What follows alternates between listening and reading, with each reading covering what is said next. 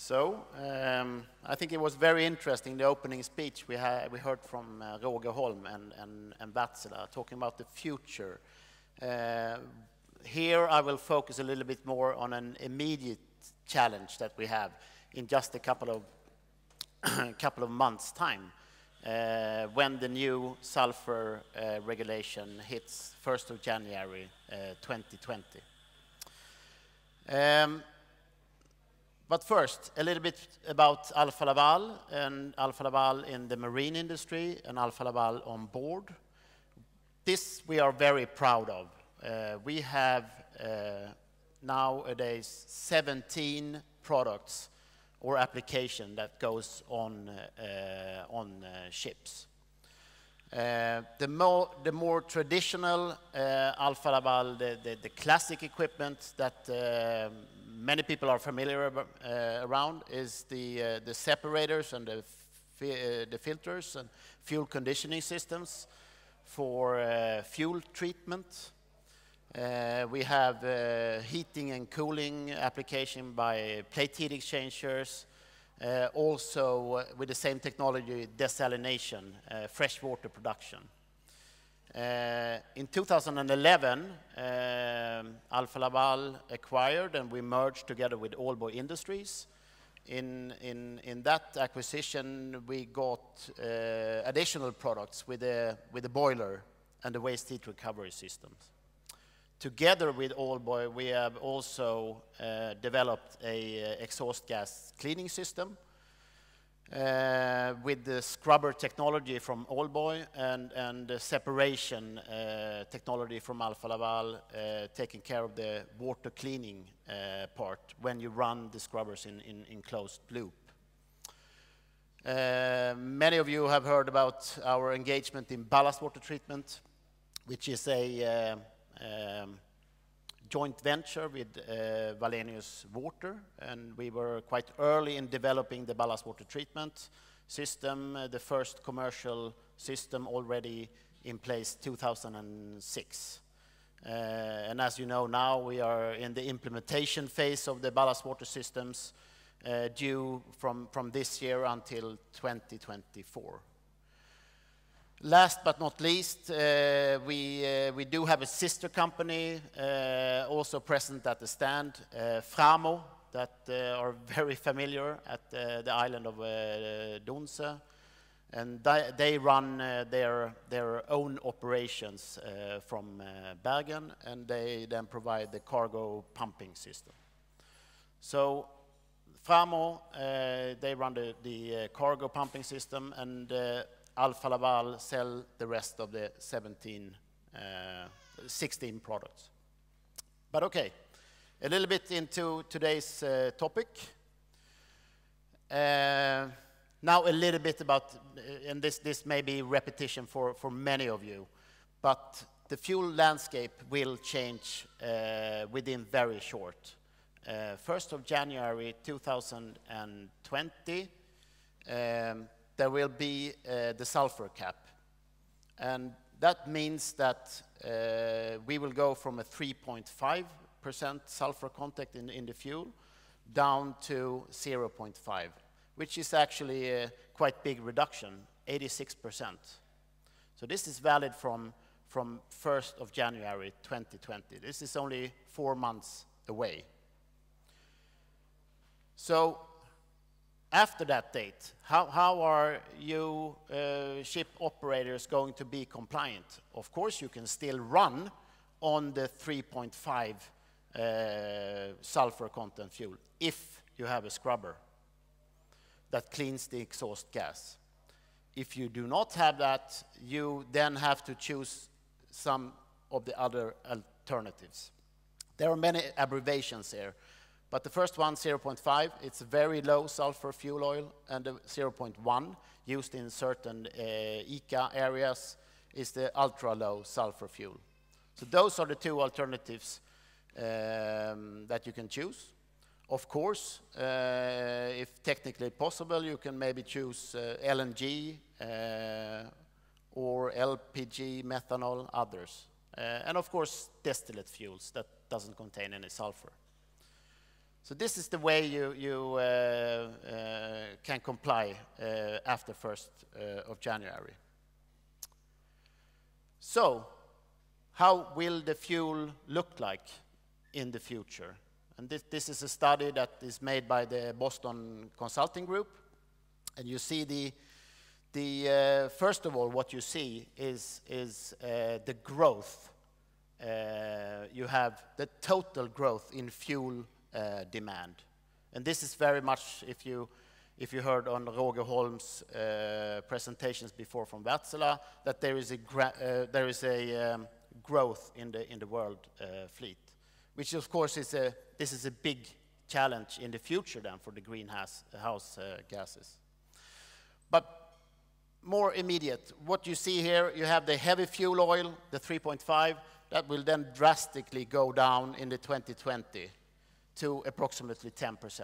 And those are the ships that today have scrubbers installed and can run on the high sulfur fuel what Boston Consulting Group, they are predicting, you see that this is then increasing to 30% in, 30, in 2030. And this is, of course, just a prediction. But in, in, in this sense, oh, uh, in this sense, uh, it means that more scrubbers will be um, installed, either retrofits or new builds, uh, to come to that figure of 30 percent. The rest is then a mix between distillates uh, and very low uh, sulfur oils. And still, also, um, what you can see here, the, the, the part of LNG is still quite small, coming up to 2030. Okay, so what does this mean then for ship operators? Um, to move from this heavy fuel to the 0.5 compliant fuel. And here is one important thing, of course. This is not the distillate product. It contains both distillate products and residual fuel. So it's a blend. And that means that you will have uh, water content, you will have catalytic fines, catalytic fines being the, the, uh, the, the, the abrasive particles that comes from the refinery process that you want to remove before the engine because you can have engine uh, damage on cylinder liners and so on. And then asphaltenes uh, creating, uh, that could create a problem when you mix different fuels. Um, so this, this is basically what, what it will uh, look like. The first, the first point, as I said, it's a, uh, uh, it's a mix of uh, different fuels, but also the average viscosity will probably will decrease compared to the ordinary heavy fuel. and you will see a wide range depending how you mix the fuels on the viscosity. Also, the density uh, will decrease, and catalytic fines will still be present in these uh, fuels. Of course, not over the, the maximum uh, limit of uh, 60, 60 ppm. So, uh, what kind of challenges does this uh, then come when, you, when, when it comes to fuel treatment on board uh, a ship? Uh, you could end up in, in, problems when you start mixing fuels that there are in, you, you run into incompatibility problem. And that will then occur in the fuel line from, from the day tank and the, uh, from the settling tank, and then it will end up in the, in the purifier separators or in the filter. Everything will just clog up. Uh, so one important message is that, that uh, for ship operators is that you need to, to spend a little bit more attention to, to uh, this and, and uh, then gain some knowledge on, on fuel blending so you don't end up in these kind of problems.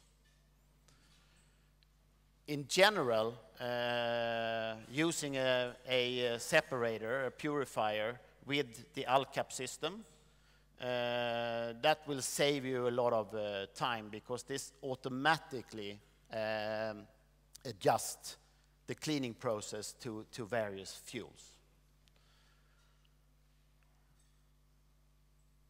Then Moving on to, to, uh, to uh, the, the, later stage after the purifier in, in, in, the, um, in the fuel chain, uh, you have the booster systems, which now can be upgraded to, to, uh, to handle uh, many different kinds of fuel. And also we have uh, the recently launched new 10 micron filter to protect the engine at the end.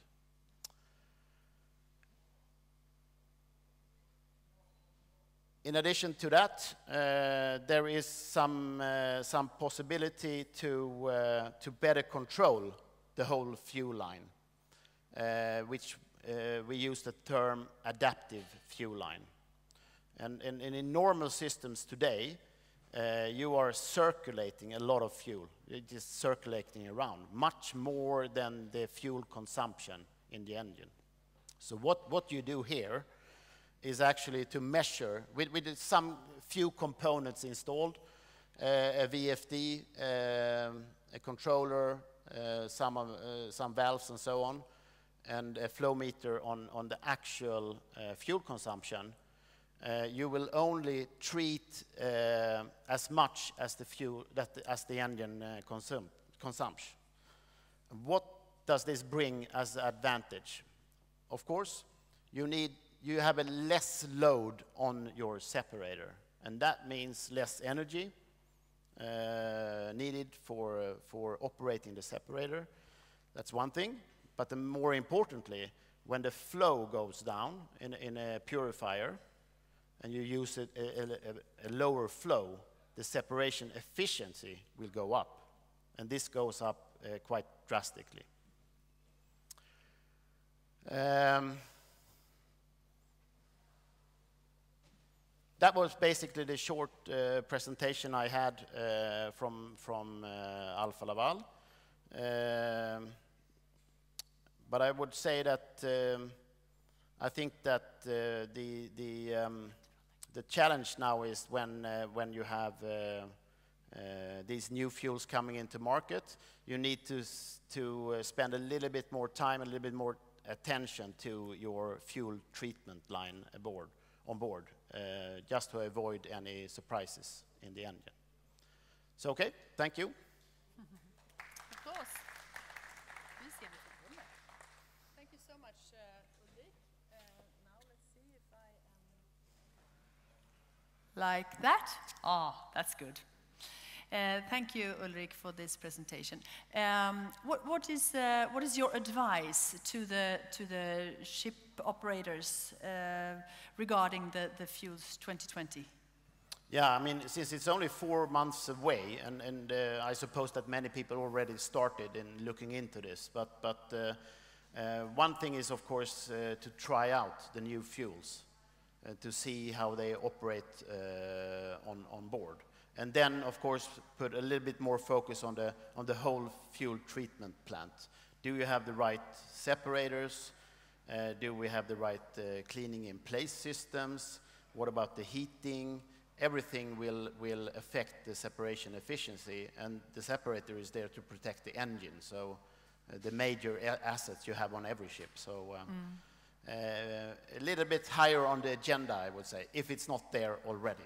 Yeah. So that's my advice. That's your advice. Mm. Thank you so much.